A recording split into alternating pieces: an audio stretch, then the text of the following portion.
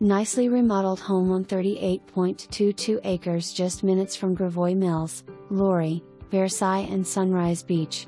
Total privacy. The home sits about 200 yards back, gated entry, concrete reinforced spring fed pond with a good percentage of the land being level to gentle ground. Mostly timbered. Are you looking for a rural setting with privacy, acreage, fiber optic internet, room to roam and still close to amenities? This home has it in abundance.